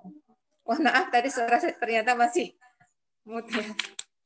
Terima kasih pada Pak Budi yang sudah uh, memaparkan banyak hal tentang bagaimana kita sebagai orang tua untuk memilihkan sekolah yang baik untuk putra-putri kita. Uh, ada forum tanya jawab ya. Masih ada waktu insya Allah, tapi sebelumnya Uh, sebelumnya minta tolong Pak Iswan atau Bu Harsi untuk menampilkan suatu monggo.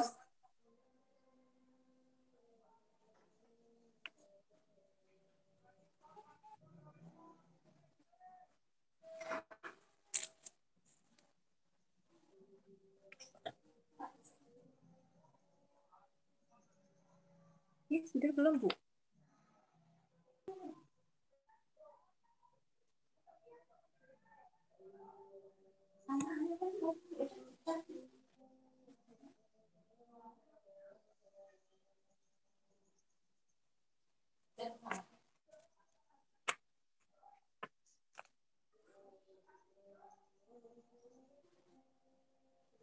Sekilas tentang SDIT ya. Monggo Bapak Ibu presani dulu. Pak Iswan, silakan Pak Iswan.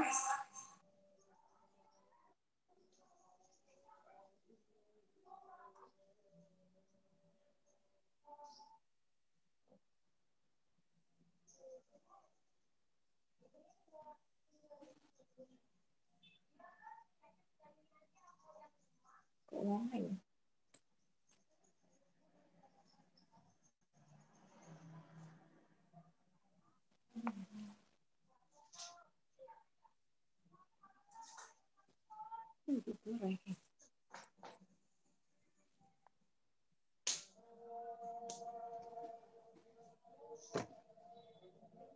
Bu,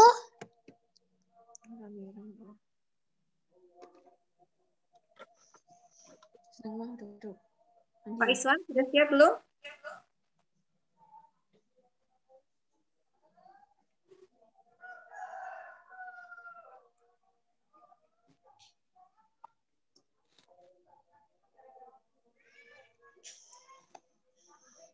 Ke mana gue?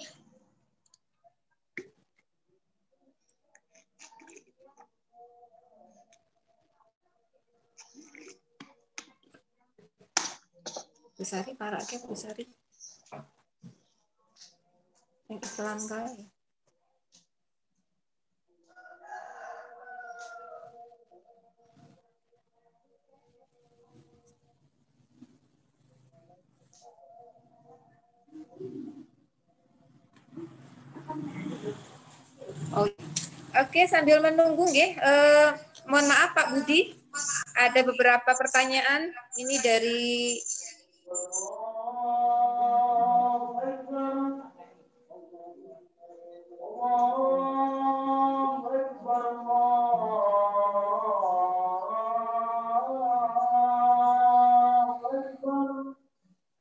pertanyaan dari Mas eh, Mas Hasan.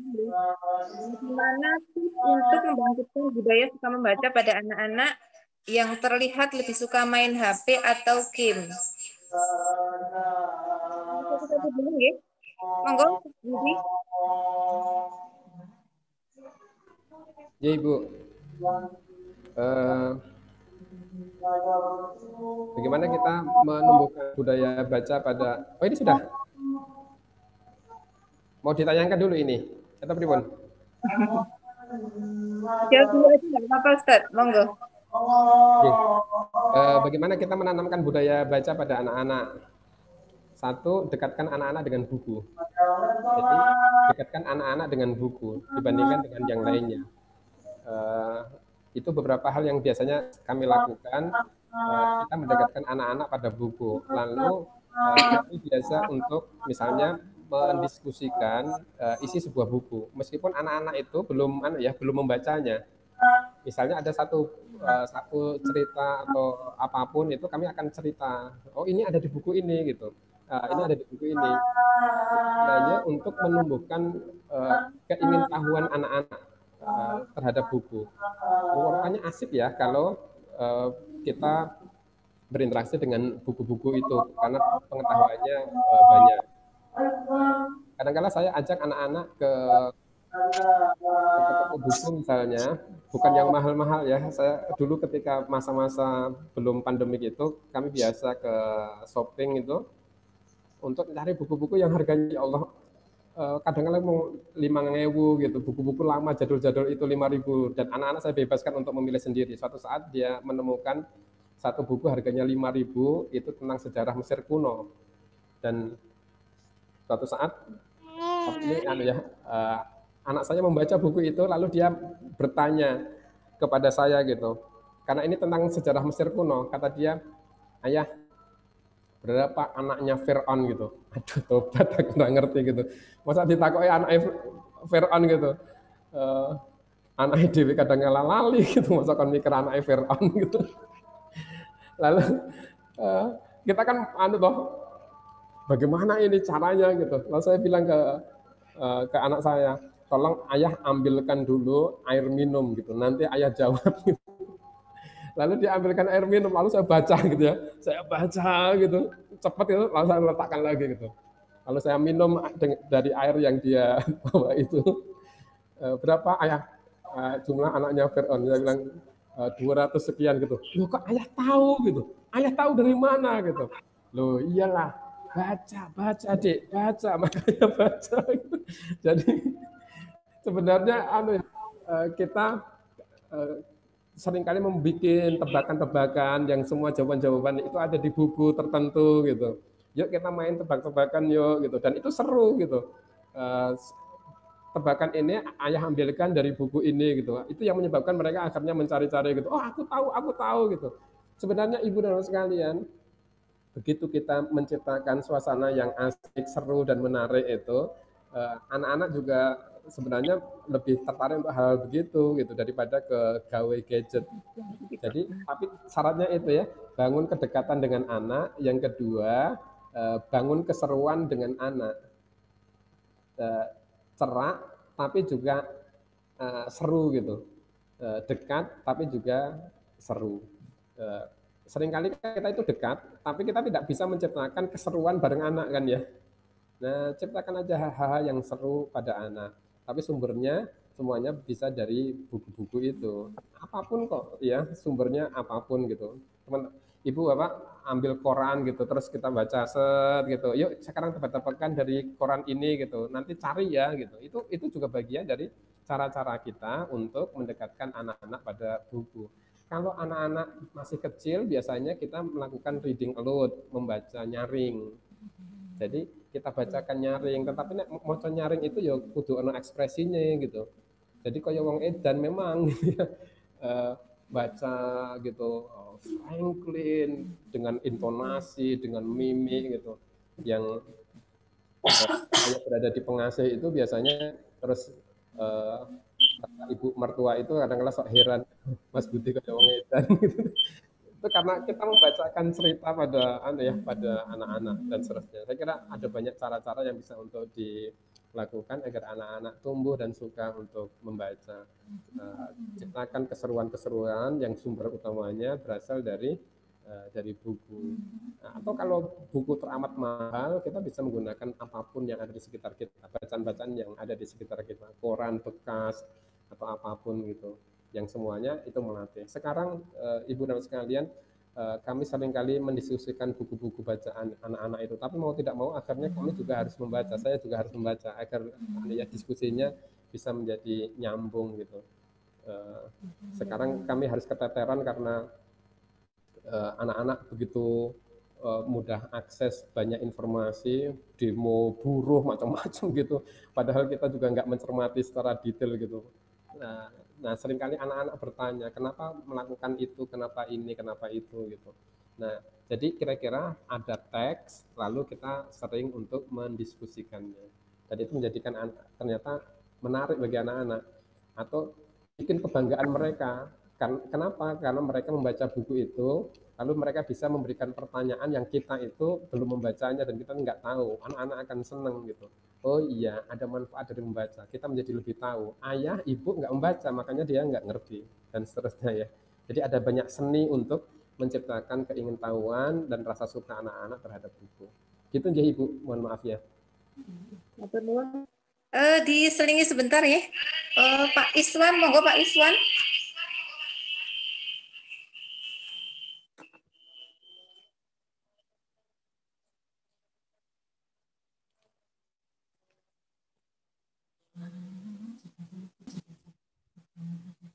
belum bisa masuk ya?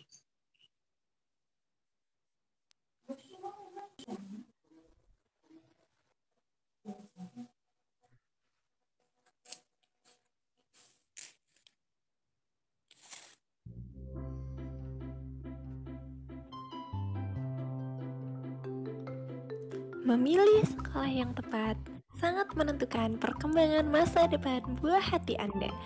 Masih bingung menentukan pilihan pendidikan untuk buah hati Anda? SD IT Ibnu Masih merupakan pilihan sekolah Islam terpadu yang tepat untuk mewujudkan cita-cita masa depan buah hati Anda dengan visi religius berkarakter dan berprestasi. Melalui pendidikan yang integral dan seimbang antara pengetahuan, karakter, dan keterampilan dengan metode pembelajaran yang kreatif serta menarik, SDIT Ibnu Mas'ud berusaha menggali minat bakat buah hati melalui berbagai kegiatan yang dapat mengembangkan potensi diri anak sehingga mampu melahirkan siswa-siswi yang unggul dan berprestasi. Berbagai kegiatan penunjang disediakan oleh sekolah. Seluruh siswa berkesempatan belajar dan melatih skill yang bisa digunakan untuk bekal di masa mendatang melalui beragam kegiatan pembelajaran dan ekstrakurikuler seperti pramuka, karate, pencak silat, panahan, sepak bola, kiroah, angklung, hadroh, renang, seni tari, melukis, dan smart school and kids. SDIT Ibnu Mas'ud berkomitmen memberikan pendidikan yang terbaik untuk buah hati Anda. Tunggu apa lagi? Mari menjadi bagian dari kami. Catat tanggal pendaftarannya dan daftarkan segera buah hati Anda.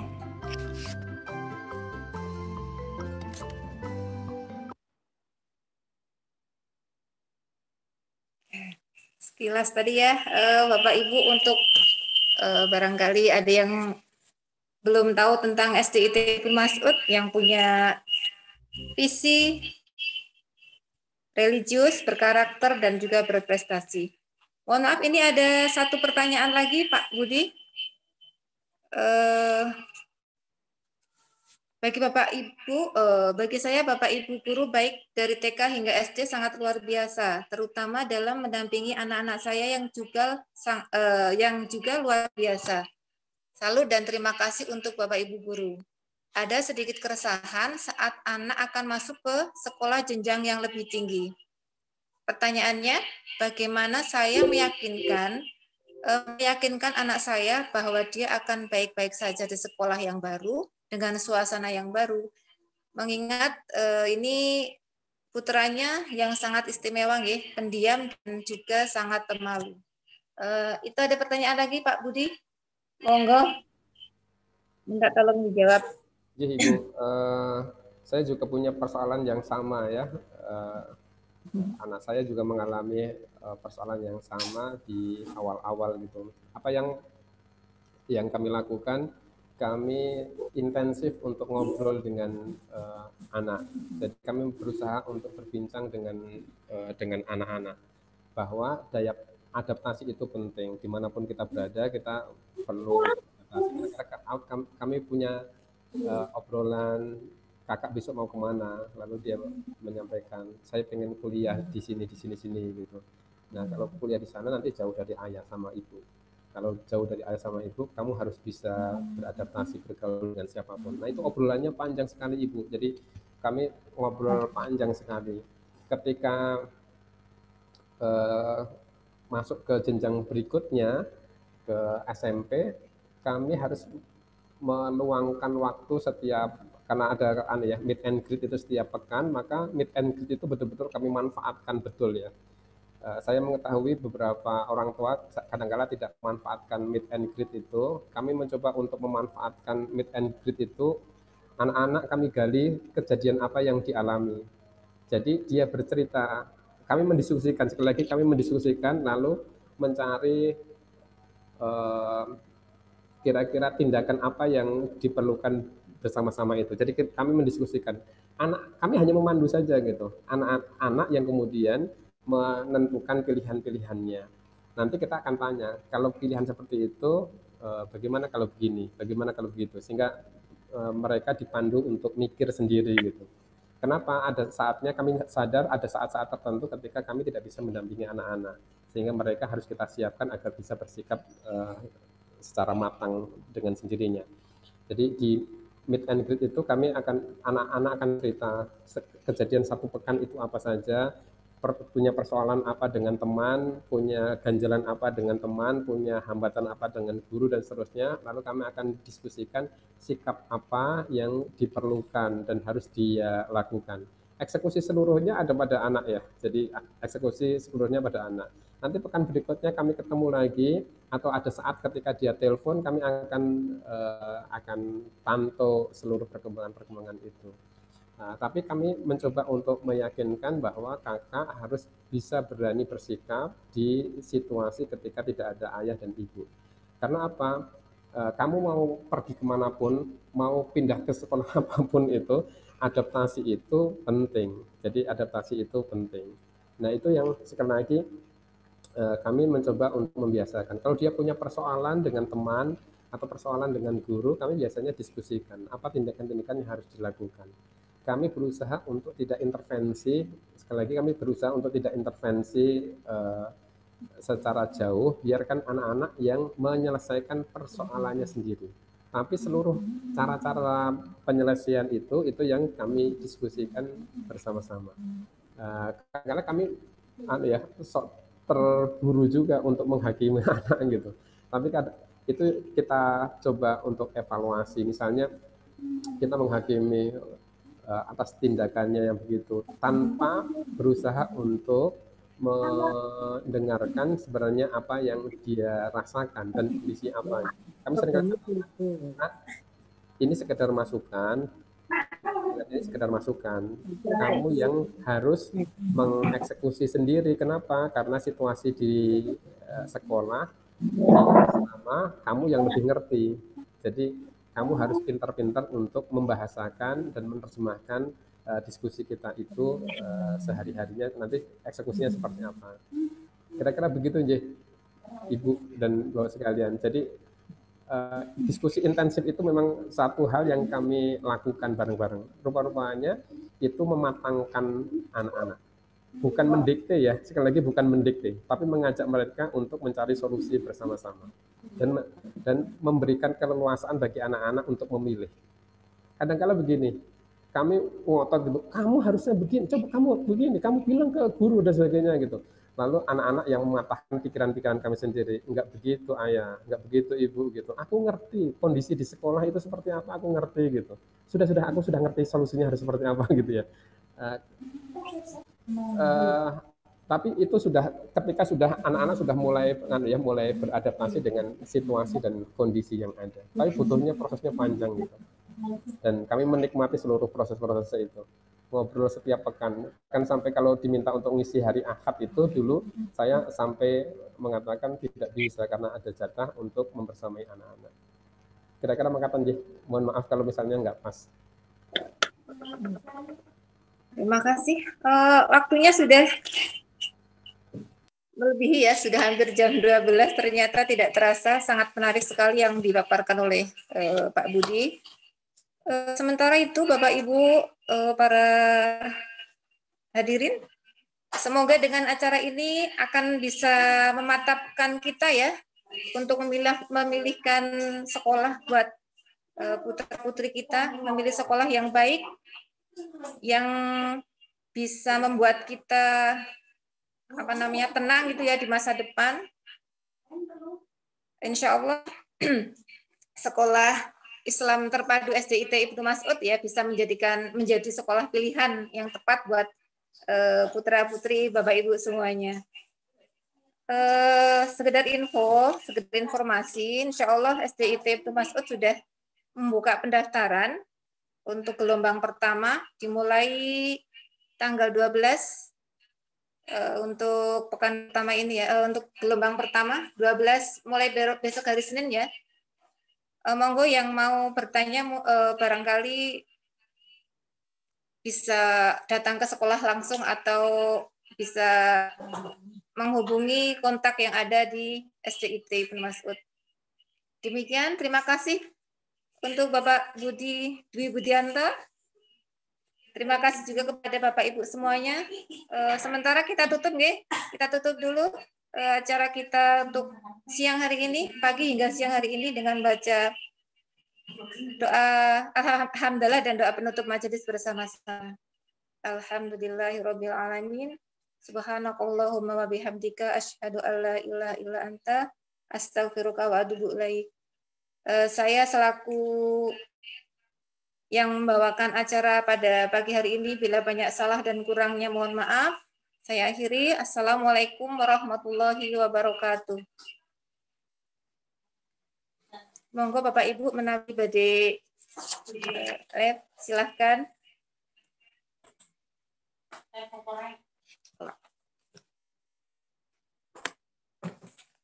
Kita